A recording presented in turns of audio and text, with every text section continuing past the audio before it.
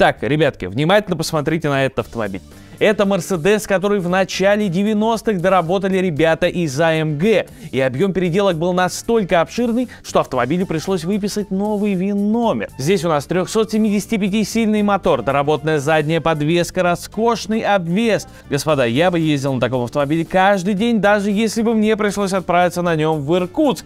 Однако предыдущие владельцы этого автомобиля действовали куда разумнее, поэтому ежегодный пробег тачки обычно не превышал полутора тысяч километров.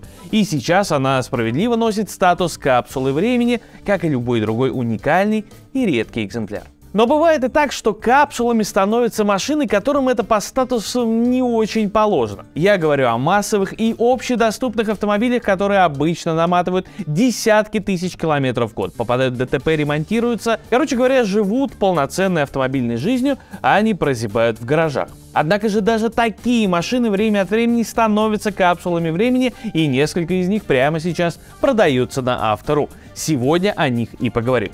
Это я, это ковер, Поехали.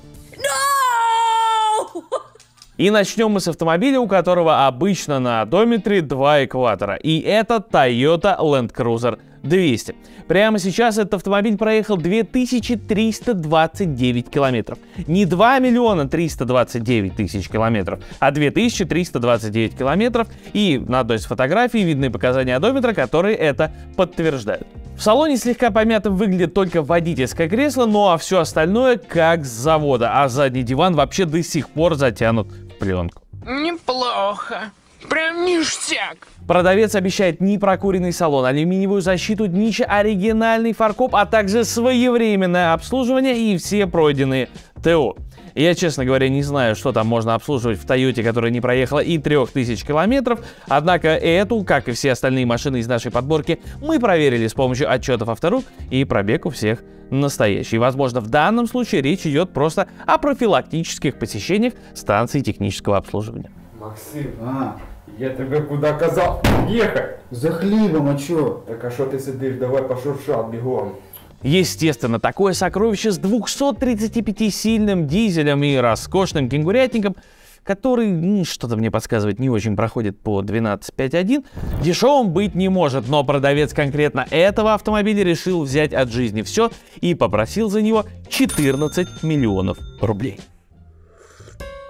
И если по какой-то причине в 2023 году вам нужен Land Cruiser 200 по цене Land Cruiser 300, то теперь вы знаете, где его искать. Но если же вы хотите что-то капсульного типа, но подешевле, то у нас есть другой автомобиль. Это белый как шапки гор Lexus RX третьего поколения, и за него хотят чуть больше 4 миллионов рублей – и если вам кажется, что это дорого, то просто взгляните на показания одометра, потому что там всего 8780 километров. Продавец немногословен и обещает состояние нового автомобиля, а также готов на другие проверки. Впрочем, уже по фотографиям видно, что автомобиль эксплуатировался не так часто, и в основном на нем просто возили детей, на что явно намекает детское кресло, которое стоит на втором ряду сидений. Останется только отмыть водительский коврик и сможете смело всем говорить о том, что вы купили себе новый Lexus RX. Просто не надо уточнять, что ему уже идет 11 э, год.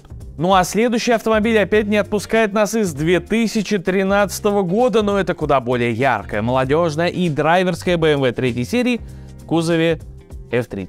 Продавец уверяет, что он купил машину в Нижнем Новгороде, заплатил за нее наличными, потом приехал домой, поставил гараж и не ездил, потому что это его третий автомобиль, а сам он э, пенсионер. Можно было бы подумать, что все это бла, бла, бла, бла. Однако по имеющимся у нас данным, эта трешка действительно много времени проводила в гараже и лишь изредка выгуливалась, чтобы окончательно не закиснуть. И одна из таких прогулок произошла совсем недавно, а если говорить конкретнее, то всего 185 километров назад, когда на пробеге в 6000 километров ей поменяли масло.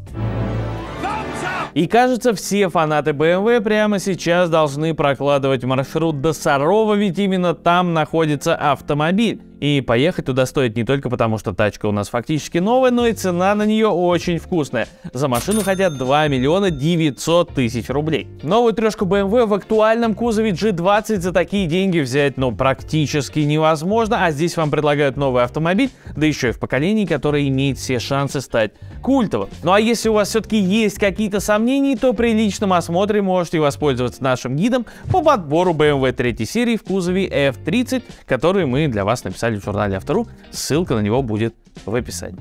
Ну а следующий автомобиль должен возбудить поклонников другой немецкой легенды, а еще он на год старше, чем Land Cruiser, Lexus и BMW 3 серии. Это шестой гольф, на одометре которого застыли две с половиной тысячи километров. Итак, у нас тут строгий серебристый хэтч со 122-сильным мотором 1.4 и роботизированной коробкой DSG. Комплектация, увы, не самая богатая, потому что вместо мультимедийной системы у нас простенькая магнитола, все регулировки сидений механические, а судя по блоку стеклоподъемников на водительской двери, задние окна вам придется опускать и поднимать обычными веслами. Продавец обещает состояние нового автомобиля и заверяет, что машина каждый год проходила техническое обслуживание с заменой масла, всех жидкостей, а также фильтров. И, видимо, в пробегах до станции технического обслуживания и намотались те самые две с половиной тысячи километров. Смущает только то, что, по словам продавца, машина никогда не видела зимы и хранилась в теплом гараже. Однако на фотографиях к этому объявлению тачка стоит явно не в жарких тропиках. С другой стороны, гараж у этого автомобиля может быть не только теплый, но и очень темный, поэтому машину просто выгнали на улицу, чтобы сфотографировать, а она увидела снег и попросилась немного погулять. В любом случае, фотографии идеально чистого подкапотного пространства, а также количество снимков, которые добавили к этому объявлению, впечатляет. И если бы у меня до сих пор не отпала необходимость возить в багажнике детскую коляску, то я бы серьезно задумался о покупке такого автомобиля. А вы? Обязательно расскажите об этом в комментариях.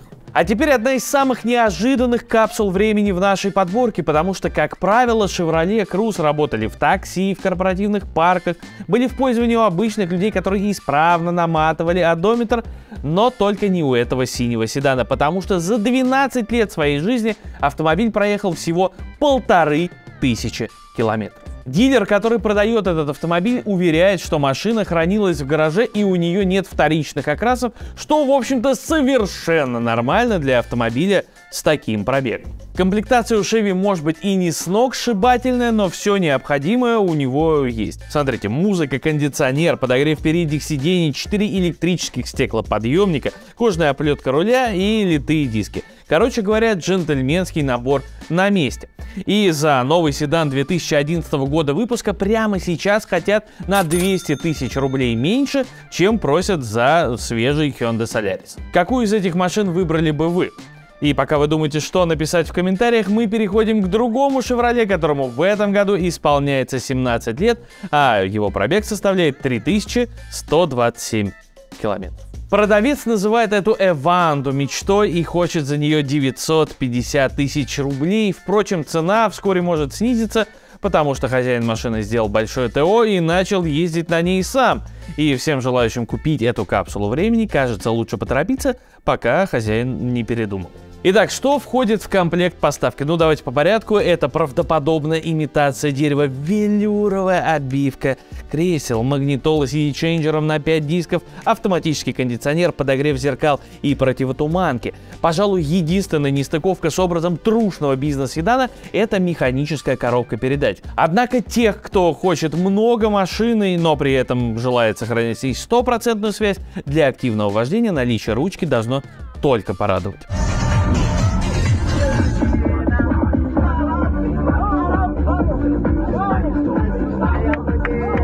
Но я могу понять и тех, кто откажется от покупки капсульной Иванды, ведь когда вы начнете на ней активно ездить, то ее придется чем-то чинить и обслуживать, а с запчастями на эту модель могут быть проблемы. Зато с комплектующими не должно быть вообще никаких проблем на Ford Focus второго поколения. Ведь когда-то это была самая популярная иномарка в стране, и, как выяснилось, она тоже вполне способна примерить на себя роль капсулы времени.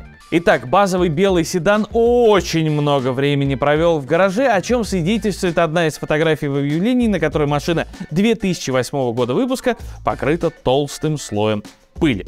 И, кстати говоря, в объявлении есть снимок, который подтверждает пробег этого автомобиля, а составляет он 6504 километра.